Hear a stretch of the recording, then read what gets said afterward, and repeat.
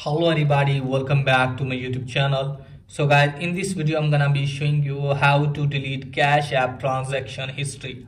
So guys let's get started without wasting any time. So first of all guys what you need to do is just simply you have to update your cash app.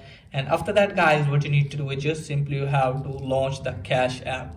Now after that guys what you need to do is just simply you have to tap on this icon you can see here guys. Here is the clock. Icon just simply you have to tap on that. Now after that guys you can see your transaction history here. I don't have any transaction. That's why it's not showing for me guys.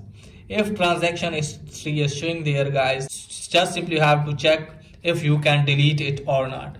If you cannot then what you need to do guys just simply you have to tap on your profile scroll it down a bit. From here guys what you need to do is just simply have to tap on sport now from here guys what you need to do is just simply have to wait some seconds. Now tap on account and settings. So from here guys what you need to do is just simply have to scroll it down can scroll it down from here guys. What you need to do is just simply have to tap on cash app profiles.